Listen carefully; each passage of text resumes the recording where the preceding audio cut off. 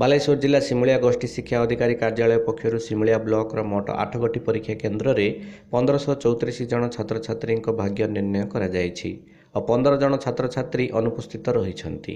ଆଠଗୋଟି ସେଣ୍ଟରରେ ଶାନ୍ତି ଶୃଙ୍ଖଳାର ସହ ପରୀକ୍ଷା ହୋଇଥିବାର ଶିକ୍ଷା ବିଭାଗ ପକ୍ଷରୁ କୁହାଯାଇଛି। ବାଲେଶ୍ୱର ଜିଲ୍ଲା ସିମୁଳିଆରୁ ସାବିତ୍ରୀ ବାରିକଙ୍କ ରିପୋର୍ଟ ଉତ୍କଳ ଖବର।